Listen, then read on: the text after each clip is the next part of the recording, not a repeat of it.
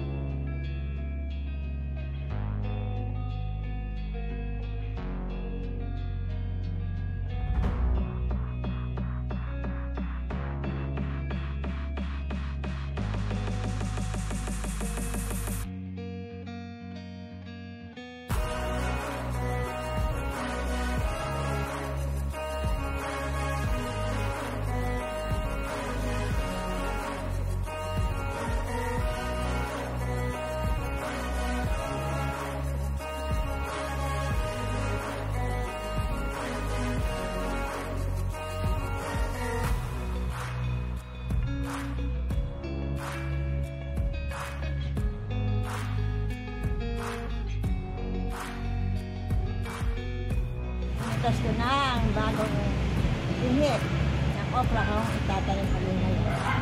Oh, ang haba, no? Ang haba. Pero wala siyang malupit. Mga taas-taas dito sa dulo. Ganda? No? Yan. Aking okra, taas. Ang puno. Pa, oh. Mga tatlo lang yan. Araw-araw meron akong pagkain tatlong bunga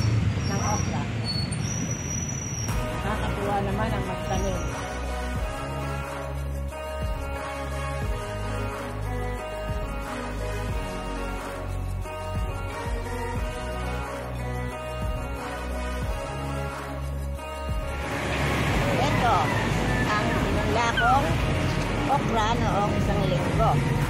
Malaki na, tatlo na dahon. Kaya gusto kong itanim na ngayong araw na ito. Para sa susunod na mga araw, nakakabigis na ako ng bunga nito. Niwala ba kayo?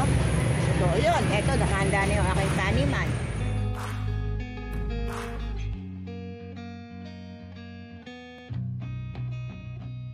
Ito na ang tulang okra. Ang laki na, ano po?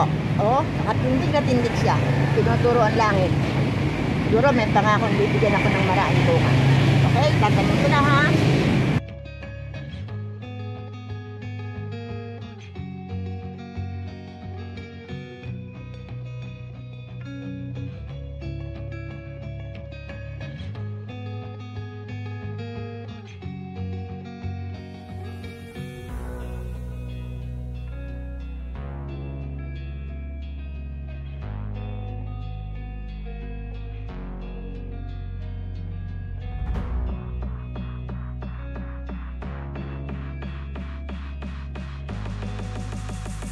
Ang ugat, oh.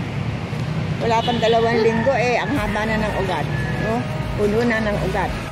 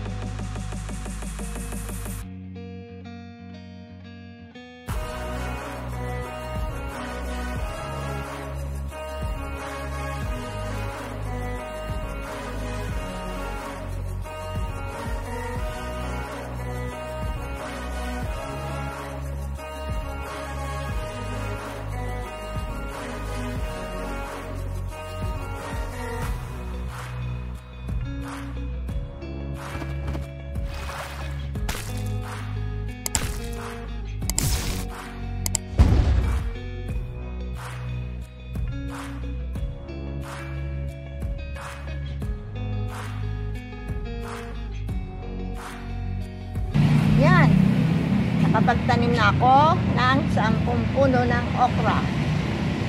Loob na isang buwan, magbulaklak na yan at may bunga na.